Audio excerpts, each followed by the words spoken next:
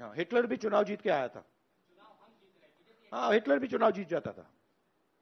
Hitler चुनाव कैसे जीतता था? हिटलर चुनाव ऐसे जीतता था कि जर्मनी के पूरे के पूरे इंस्टीट्यूशन उसके हाथ में थे। उसके पास एसए थी पैरामिलिट्री फोर्स थी। उसके पास पूरा का पूरा ढांचा था। मुझे पूरा का पूरा ढांचा दे दो, फिर मैं दिखाऊँगा आपको कैसे इलेक्शन जीता जीता जाता है।